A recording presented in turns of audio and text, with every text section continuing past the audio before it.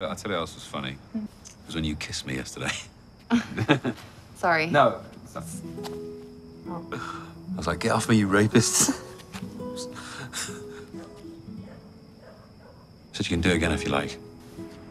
Really? If you're going to try it, then m- maybe you should do it with a friend, you know, rather than someone like a stranger, because, you know, there's a lot of weirdos out there. Well, I am planning on doing a lot of kissing and fornicating, so you'd really be helping me out. Great. Well, um, put my hands on you. Stand here. Okay. You steady.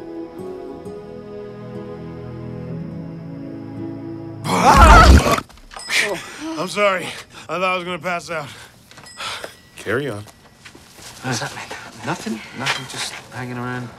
They're about to make out. It was awkward.